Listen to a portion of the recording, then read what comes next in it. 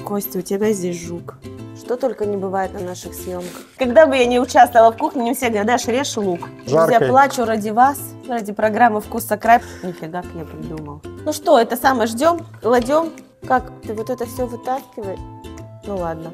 Мне нравится, я добавляю. Ну, мы закончили. Слюнки уже бегут у вас, да, дорогие друзья? Бель-бель-бель-бель.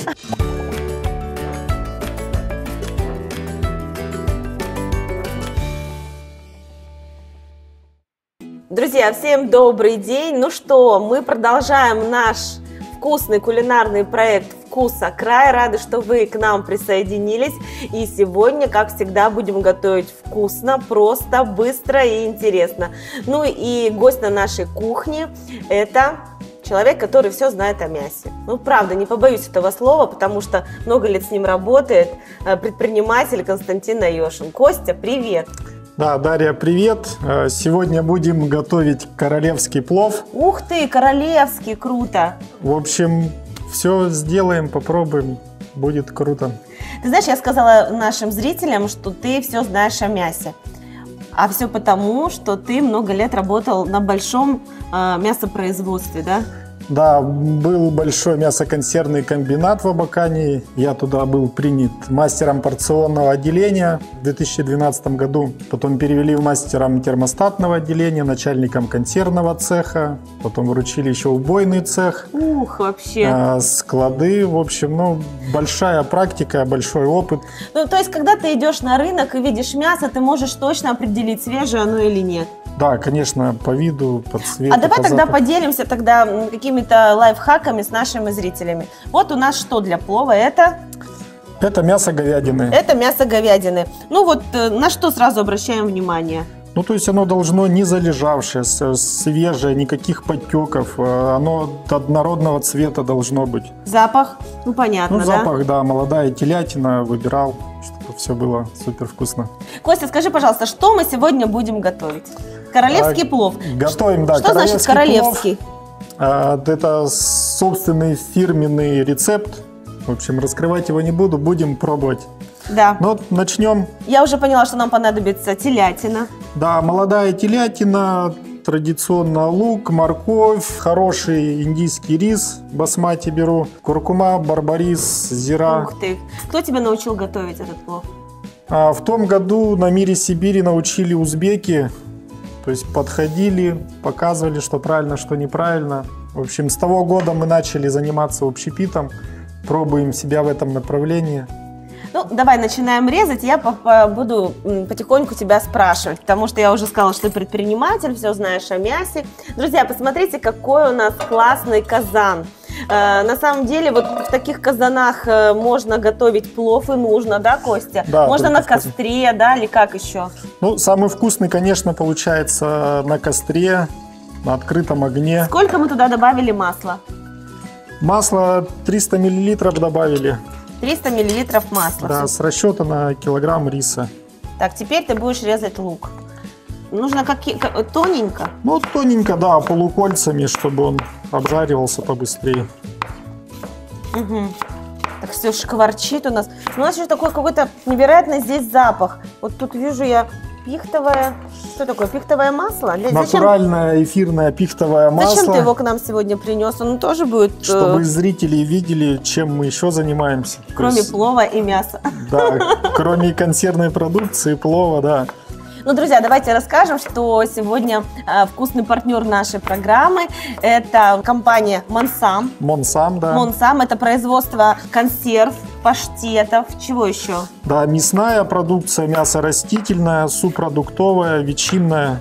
Именно здесь, в Абакане. Именно, да, в Абакане. Начинали как? С небольшого производства? Твой опыт пригодился, да? Ты ведь э, работал на крупном заводе, да? Да, в бизнесе я не один. Со мной э, Монгуш Вячеслав Самсоныч, он основатель а, вообще вот этого бренда Монсам. Монсам переводится как Монгуш Самсон. Это в честь отца Вячеслав назвал. То есть это вот история бренда. Мы оба работали на комбинате. То есть вы был- коллеги были? Мы коллеги, да. Он был у меня старшим мастером, многому он учил. А, Мастера были той советской закалки. Апанасенко Нина Дмитриевна, Посельская Антонина Петровна. То есть мо- могут люди сейчас услышать свои Да. имена, узнать, да, как это И, конечно, главный учитель был технолог Ладоебалова Дина Дондаковна. Всем огромный привет. Это вот именно на комбинате была кузница кадров. Передавали опыт. Ну, я смотрю, вот- передали успешно. Я думаю, что мы еще попозже поговорим о твоей продукции, что вы туда вкладываете, кроме мяса, ну и любви к своему делу. Так, ну что, Костя, я не могу стоять сложа руки, я тоже буду тебе помогать. Лук. Да, давай лук, я начну морковь. Все любят, чтобы я резала лук. Ну ладно, что уж. А морковку бру- э, ты режешь э, брусочками. Брусочками, да. Костя, я знаю, что у тебя большая семья. Сколько у тебя детей? Пятеро детей, старшему сыну 12 лет, две дочери и крайние э, двойняшки, два сына. Ну, слушай, э, сейчас за окном год семьи, и это как раз многодетные родители у нас в приоритете. Всегда хотел быть многодетным отцом. Как это получилось? Да, было как-то с детства, я думал, будет вообще 8 детей, но пока 5. Вы Видите, как здорово. Пятеро детей. Ну, познакомимся с ними чуть побольше, поэтому обязательно досмотрите до конца нашу программу. Все, маслица у нас практически готова. Костя, а как ты будем. относишься к плову из свинины? Ведь многие из свинины готовят плов. Или это уже не плов? Ну, каждый готовит, допустим, со свининой он тоже получается неплохо. Э, Я знаю людей, кому, кому наоборот больше нравится со свининой. Но для меня больше традиционно это говядина, баранина, конечно. О, Когда баранину это еще надо уметь готовить. С Вы, кстати, бараниной, а, да. в своих консервах используете баранину? Да, мы используем баранину, делаем баранину тушеная, используем также субпродукты, э, и рубец, кишки, легкая печень, Ой, в почка. общем, все идет в ход. Да, это вот национальные блюда мы тоже делаем э, в консервную банку, что нас отличает от остальных производителей. А, ну то есть фишка вашей тушенки в том, что это реально какие-то национальные рецепты. Местные хакасские или еще тувинские? Да, не только традиционную делаем, но и вот именно национальную. Это, ну, тувинская, тувинский у нас сейчас название, и хакасско-тувинская это хан, э, традиционный тюркский, ну, тюркское блюдо. Ну, смотрите, друзья, мы целую миску лука нарезали, поплакали, но нарезали. И что сейчас, Кость? Все, теперь в раскаленное масло добавляем лук. О, как громко, как громко, какие А как пузырьки, классно вообще. Супер. Смотрите, какие идеальные брусочки. Знаешь, сразу захотелось на природу. Ну, совсем немного осталось до природы. До природы совсем да, немного. весна уже рядом. Слушай, ну у вас весной больше работы? Зимой вы уходите в спячку, потому что, ну, я Ну, имею в виду, что скот, зима и так далее, как-то вот, а весной, наоборот, все просыпаются, и э, скота становится больше, дай бог в какасе, чтобы его было и больше, и больше. А, Зимой, да, у нас спад на консервную продукцию, как правило, он, ну, потребность более низкая. По весне просыпаются дачники, ну, то есть Шашлыки. шашлыки, да, потребность вот на То мясо, есть люди на идут в продукцию больше. поход, а, берут с собой, а, там, не знаю, баночку тушенки и так далее, да? Да, теперь в Ергаках там, либо в другом месте без нашей тушенки в поход не пускают. Да ты что, даже такой просто этот фейс-контроль, да? обязательно. Так, покажите, есть ли у вас такая тушенка. Скажи, пожалуйста, ну вот я вижу здесь у нас на столе награда. Это Да, это награда за мы- тушенку. За тушенку мы участвовали в Новосибирске, был очень жесткий отбор, и вот наша продукция как раз э, заняла призовое место, и нас наградили золотой медалью. Скажи, пожалуйста, как пришла идея добавлять э, в тушенку местные таежные ягоды? Это что за рецепт? К этому нас э, привел туристический сувенир, конкурс. Э, То есть э, мы участвовали сначала с традиционной, потом с национальной кухней. Это и вот третий год подряд стали думать, а что еще? Чем еще удивить? да? Да, как бы живем в Сибири, в тайге, но надо было воспользоваться можжевельникой, клюквой, брусникой, папоротник, грибы. Ну что, лук у нас там жарится. Конечно, мы вот тут уже говорили, что на костре бы было быстрее, ароматнее. Ну, что есть, друзья, вот готовим на электрической плите. А, Можно, кстати, если у вас дома газ на газу, наверное, побыстрее да, тоже будет, будет. быстрее намного. Побыстрее. Но у нас вот э, так происходит. Ну что, овощи мы порезали, теперь самое главное блюдо, самый главный ингредиент мяса. Как будешь резать его? На кусочки как? Да, молодая телятина я обычно режу на большие куски, а потом уже, когда блюдо готово, достаю и измельчаю и под- подаю на рис. Ну, то есть наша сейчас задача, чтобы вот это мясо дало сок, правильно? Ну да, мы его чуть-чуть обжарим, и в зирваке вот оно именно сварится, сок даст вкус зирваку. Ну, смотрите, друзья, видите, как, ну, особенность, да, этого рецепта, именно королевского плова, вот такие большие, достаточно массивные куски мяса, да, это А когда готовим в казане, э, Ага. казан, два у нас на 150 литров, и взяли сейчас на 250. Там куски ложим прям вот такие. Значит, это килограммовый, хочешь сказать? да, почти? смотрится прям бомбически. Когда народ видит и прям стоят, ждут, пока мы приготовим, Классно. сделаем и потом пробуют. Так что, друзья, берите на заметку, если вы хотите кого-то удивить, поедете на природу, прямо не жалейте мясо большими кусками, выкладывайте его в плов. Друзья, все, лук у нас готов. Загружаем мясо. Немного его обжариваем. Хочется прям посмотреть. Ух ты, красиво, правда. Настоящее шоу. И обязательно перемешать, да? Да, сейчас оно у нас немного обжарится. Потом будем подавать лук. Я смотрела на протяжении всего времени, ты не добавлял масла. То есть масло, которое мы добавили в самом начале, его хватает. Да, его хватает полностью. Сколько, напомню, мы добавили? А, 300 миллилитров. Аромат прекрасный у нас, друзья. Добавлять прекрасный. воды. А морковь? Вот сейчас об- обжариваем немного мяса, буквально это минут 7 будет. Потом обжариваем морковь. Мгм. Морковь должна немного так будет, ну, проминаться. И все, и потом добавляем воду, И пряности, соль И рис. и готовим зирвак. Ну Рис. давай, пока у нас есть время, поговорим про рис. Вот ты принес, сказал, что это э, специальный рис. Да, индийский рис, Я вот так басмати, его вот так покажу немножко. зрителям. длиннозерный. Мгм. То есть э, много пробовали рисов, но вот, допустим, мне, лично мне понравился вот именно индийский басмати. Ну, то есть, получается, для королевского плова лучше э, индийский рис. Басмати. Ну, да, а да. что же делать с нашим краснодарским? Он вообще не подходит. А подходит, но блюдо не такое насыщенное, вкус не такой. Как там? Все? Все, Как надо, мясо, отлично. да, немного обжарили, а теперь добавляем морковь. Ух. Смотрите, как у нас много по-королевски моркови. Витам... Так, морковка – это витамин А. Витамин А для зрения. Костя, как мы поймем, что все готово для того, чтобы сделать этот, как ты сказал, зирец? Зирвак. Зирвак. Зирец, То зирвак. есть у нас э, должна дойти морковь до готовности. Ее Мгм. готовность мы проверяем э, лопаточкой, слегка надавливаем. То есть она без усилия. А я э, смотрю, смотри, практически без усилия делить. уже. Да, ну практически готово. Еще, наверное, минут 7 и все, будем заливать воду, Отлично. добавлять пряности. Друзья, я очень жалею, что э, наши камеры не могут передавать те ароматы, которые есть на нашей кухне. Э, жарко, вкусно, ароматно. Костя, все готово. Уже что, вот этот... Все, да. Для того, чтобы- Морковь подошла, теперь Так. добавляем воду и пряности. Давай. Воды сколько? Буквально, чтобы вот закрыла морковь и мясо. То есть много не надо, чтобы зирвак был крепкий.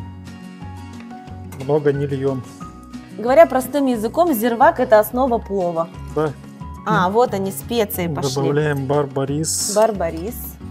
На глаз, да? Или две стол... маленькие ложечки. Полторы, да. Мгм.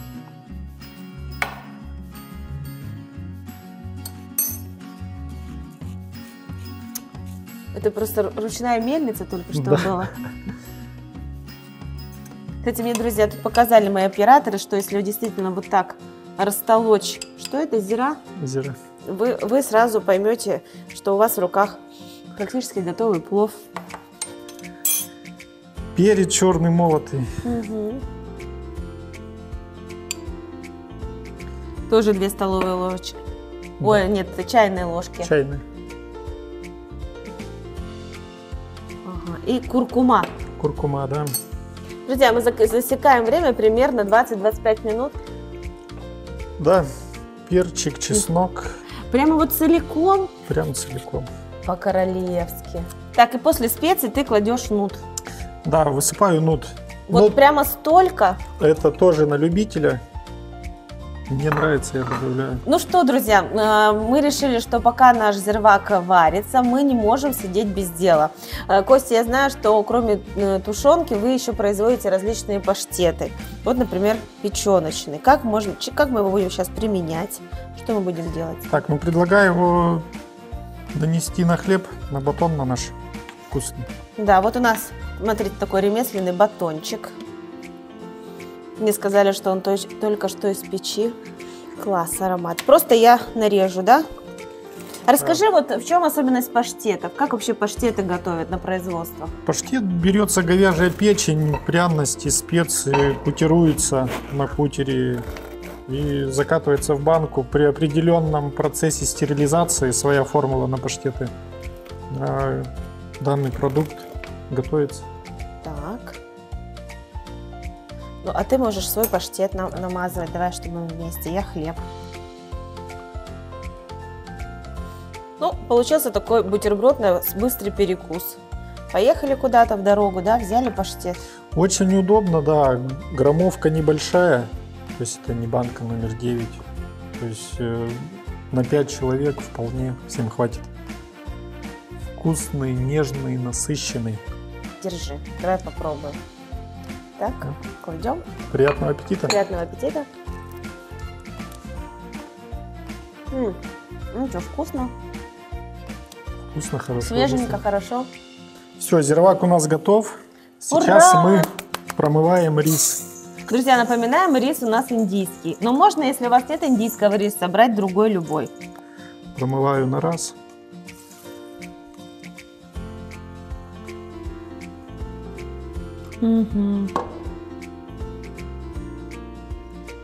Не надо его там сильно мять. Просто немного пошевелили. Все, сливаем. Так, убираем все это.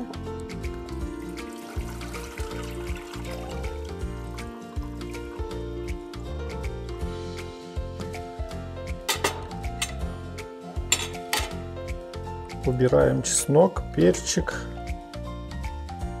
Мгм. Слюнки уже бегут у вас, да, дорогие друзья? Костя, ну делаешь это ты все прям профессионально. У тебя даже профессиональное, как сказать, вот эти э, все приспособления для того, чтобы... Шумовкин. Это, да, под большой казан. Так, ну что, теперь э, сколько будет э, наш плов доходить, ну, можно сказать, до конечной точки? Примерно еще где-то полчаса. И все, и будем дегустировать. Костя, а почему именно через шум, как не через шумовку, через лопатку? Это что за? Чтобы вода равномерно распределялась, чтобы Это она тоже не такой под напором, секрет, да. да? Костя, сколько воды ты туда залил? Воды примерно, чтобы скрыло, ну, сантиметра два-полтора. Мгм. И даем настояться, да? То есть мы сами увидим Да, процессе, сейчас именно надо он... следить за огнем, чтобы он не был большой, не, не был сильно медленный, чтобы у нас все вот разом не, не перевернулся, там, зервак и рис. Друзья, мы вам обещали сюрприз. Вот он, не только готовый плов, но и большая семья нашего героя Кости. Костя, все в сборе? Все в сборе, семья готова к дегустации вкусного Ну, плова. давай перекличку быстренько. Супруга Татьяна, старший сын Булат, дочь Екатерина, дочь Татьяна, сын Георгий и сын Константин. Ну, я думаю, что план, заданный президентом нашей страны, ты выполнил. Выполнил, да. Плов готов, все получилось. Что ты скажешь по внешнему виду? Все, на внешний вид очень вкусно, аппетитно. Вот это вижу, горочка такая Сейчас рис, да, перемешаем с зирваком. Костя, прежде чем ты будешь накладывать плов, э, пожелания в год семьи всем жителям города Абакана, Республики Хакасия, всех, кто нас смотрит и слушает. Сначала хотел бы, да, пожелать, если вы решили создать большую либо небольшую семью, не бойтесь, не ждите никакого достатка, там, ни квартиры, ни машины, ни статуса. Старшие двое детей у нас были в съемном общежитии 12 квадратных метров. Все пришло, все хорошо. Жилье свое и машины, и квартиры. В общем, если решились, ничего не ждите, никакого положения. Любите друг друга, будьте счастливы. И вкусно готов. Все будет хорошо, мирного неба над головой. Всем здоровья и любви. Мне, мне кажется, вот когда плов, это такие ощущения тоже, ну, большой компании, семьи, но еще и символ того, что э, открыт сезон готовки на улице в том числе. Да. Так, а вот теперь Все, самое такое, ну-ка.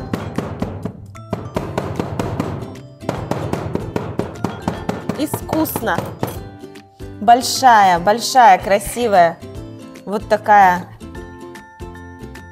миска, не знаю, блюдо с пловом, большое, красивое. Ну что, друзья, а, на этой вкусной ноте мы желаем вам приятного аппетита.